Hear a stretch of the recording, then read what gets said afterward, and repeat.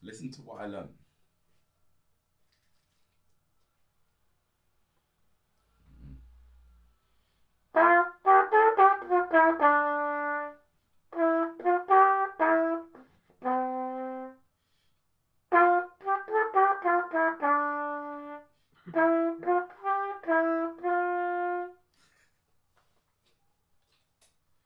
What, are you lot up to today?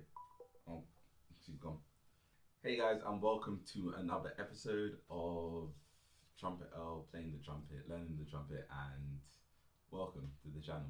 So this is a bit of a strange one. This one's going to be a bit of a different one.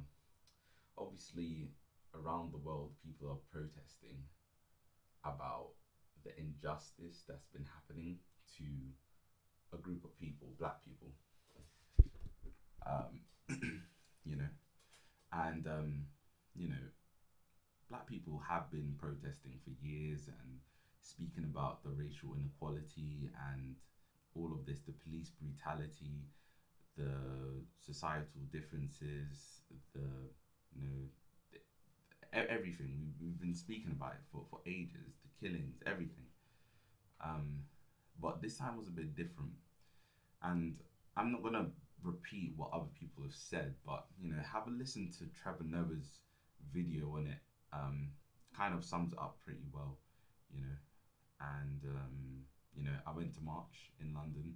You know, I protested for Black Lives Matter because Black lives do matter, and all lives can't matter until Black Lives Matter, because we together we make up the, you know, we make up the whole thing. Um, so yeah, I went to protest in London yesterday. Um, we marched from Parliament Square down to um, down to the U.S. Embassy, and I was there for about three or four hours. But I felt like I'd, I'd you know, marching and being in solidarity with loads of people of every, you know, every race, every every color, every religion, every you know, we all stood together because we all agree that this thing isn't right. You know, for me, racism has been like the main battle in my life, more than my weight, more than my height, more than my beard, more than my religion, my race. You know? And it hasn't always it's not always an obvious kind of thing. It's not like uh you're black or uh i don't like black people. It's not it's not like that. It's it's little things little things people say little things that people don't say or um just just just the way kind of like you're greeted or the certain spaces you go to just the way that people talk to you and look at you sometimes are just sure indicators. And you know after like you know in my case 27 years of you know being in part of this society you know you see the patterns and you know you know what things are like you know you know what spaces to go to and not to go to. And you know what to prepare for when you do enter certain spaces. You know how to answer certain questions. Um anyway this is primarily a trumpet um, channel, you know, a channel dedicated to playing the trumpet and everything. But it's just so important to me, um, you know, to stand up for what's right, you know, and for an easier life, for an equal life, um, to my white counterparts, you know, Black Lives Matter all the way. And you know, if you're support of this channel, then you just gotta know that that's what I'm about. You know, um, it's not no sugarcoating. It's not no oh yeah, you know, mm, eh. no, Black Lives Matter. That's what I believe in, and if you're down with that, subscribe, subscribe. Um, if you're not down with that, then bye. You know, it is what it is. Um. Anyway, it's been too long. Um, the same, you know, the same worries that my parents had growing up, same worries I've had growing up and probably the same worries that my children will have grown up. Um, so anyway, it was a peaceful pro- protest in London. You know, everyone came out.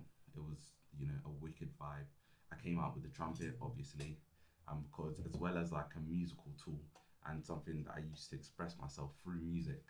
Um, the trumpet is just, you know, a beacon. It's a, it's a fanfare. It's a loud sound that kind of, you know, commands attention.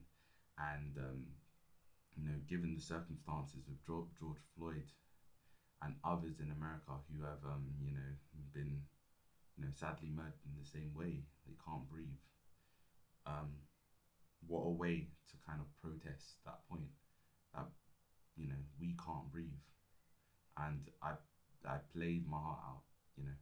I didn't play any music per se but i just um i just played. That's that's all i can describe it as. Um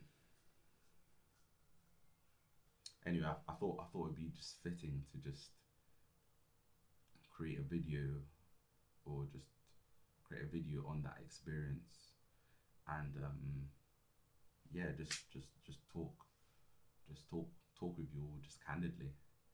Um, you know I'm, I'm usually just about kind of like learning the trumpet and you know easy life and all of that. And yeah but don't know. But yeah racism. Yeah it's just it's just it's just one of those things.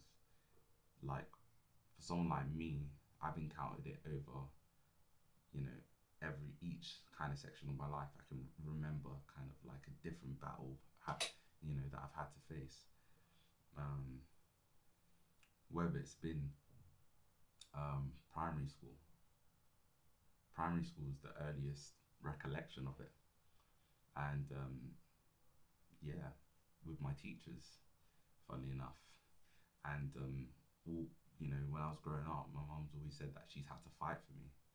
And it's only when I grew up and actually knew what racism was, you know, I, I properly knew what it was. I knew the name of it and I knew everything, I knew what it was. Um, that I realized, oh my God, you know, that's what that was, you know.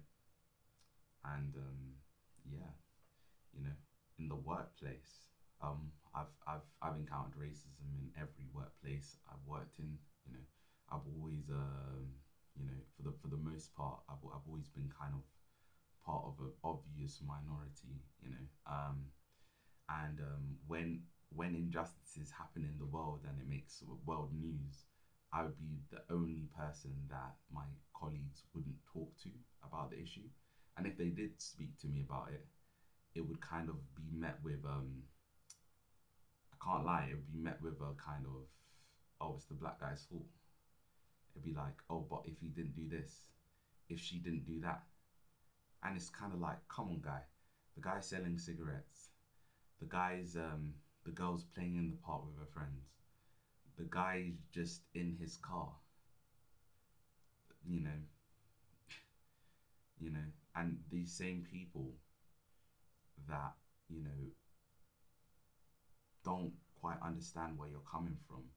You know, the music that they listen to, the rap, the hip hop, the, the the artists that they, they, they love and respect talk about these things and they just choose not to listen to it. So um yeah, so school, the workplace, um, you know, just in society in general.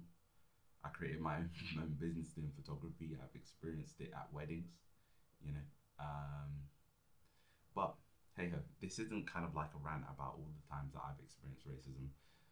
What this is about is, you know, just coming together as a people and just realizing collectively, re- just realizing collectively that this is wrong. You know, everyone deserves an equal fair shot, an equal opportunity. Um, you know, all of this rubbish, all of this this killing people, kneeling on people's necks, it needs to stop. You know, how can the police, the, the police that's supposed to protect you, be killing you? Who do you call? So, um, you know, this is, this is, you know, justice for George Floyd and Sandra Bland, Mujinga Belly, and, um, and, and all the other people that have, that have died, you know, and all of the brothers, Mark Duggan, um, Tamir Rice, you know, all of the people that have experienced unjust even the one the ones that weren't filmed, the ones that didn't die, the ones that are going through it every day at work, the ones that are, are scared to speak out. This is just kind of, uh, you know, this is just solidarity solidarity with all of them. And and if you're with us, you're with us. Um, and if you're quiet, then you're against us. You know, quite frankly. On another note, on the march yesterday. So I um I, I, was, I was marching, I was playing my trumpet. Like I said, I wasn't playing any music. I was just playing high notes all day. I was kind of playing to the to the rhythm of Black Lives Matter. So it was Black Lives Matter. Beep beep beep beep beep beep beep beep. So I'd do that and that would generate like quite a buzz in the crowd and then it generate a call and response. And then at the end of that, when I just couldn't play anymore, I just let out the highest note I could play which I think yesterday was like a like an E sharp or something, an E sharp or a G. It was an E sharp. It's first up. Um, and um, and yeah, that that was pretty much my day yesterday. But yesterday I was rolling um, and I was next to what I think was like two Ghanaian girls or Nigerian, and um, they asked me to play this song, and I felt so ashamed that I couldn't play it and it's called Blow Your Trumpet. So I took it upon myself today to learn the song, and I used MuseScore for the first time today um, to kind of because uh, usually I just write out the the notes. Yeah, you can't see that. I usually just write out the notes like G A B A G F sharp whatever. Um, but today I just thought let me just try and put this into proper musical terms, and I put on the stave, and yeah, so um, I'm just going to play a little bit of that. And um, yeah, I hope you enjoy it.